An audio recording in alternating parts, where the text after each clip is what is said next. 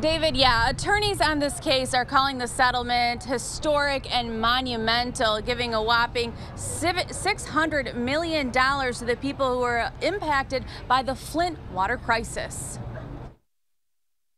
We negotiated with the needs of the many, the needs of the many in opposition to the interests of the few. It's been a long time coming for residents in Flint who have endured years of poisonous water and health issues due to the state's neglect. The Flint water supply was converted from the Detroit water system to the much more corrosive Flint River in 2014 to save money, causing the crisis. Most of the money will go towards settling claims filed on behalf of children in Flint. The settlement breaks down like this. After attorney fees and expenses, children in Flint who were exposed will get 79.5% of the money. 64% of that money will go especially to children under five. Adults and property owners will get 18% of the payout, and businesses will get 5%. And finally, 2% will go to programmatic relief. Today, attorneys on the case say it's a step closer to justice, adding that the deal was aimed at helping the most vulnerable.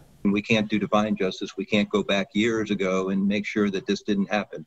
This has happened to this community that has already been very uh, devastated in many other ways. And then this, upon everything else they went through, has happened.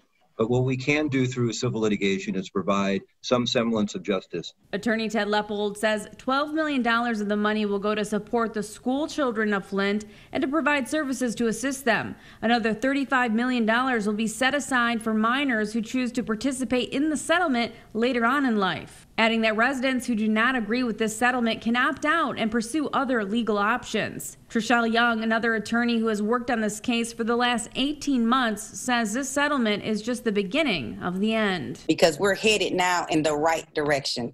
As Ted and Michael indicated, there is more to happen, there is more to occur. There are more defendants that we are pursuing because they are accountable for their actions.